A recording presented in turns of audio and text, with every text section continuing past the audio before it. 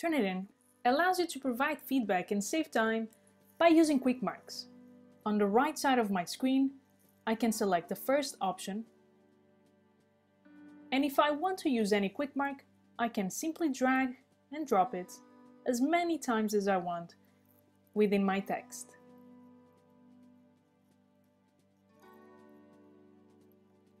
I can click in any of my QuickMarks to see the content, take a look at it, and then use it if I want to.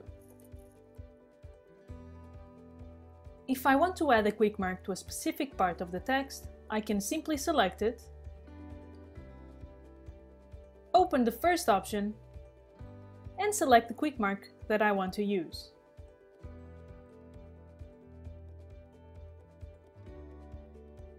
You can add QuickMarks in two ways. First, you can select anywhere within your text to open the marking tools. Select the second option, add your comment, and at the bottom, you will see the way to convert it to a QuickMark. I will click here and add a title. I will click Save and I can then locate my new QuickMark on the right side of my screen. You can also add QuickMarks via the QuickMark Manager. On the top right side of my screen, I can open it. And from here, I can select my menu and create a new set.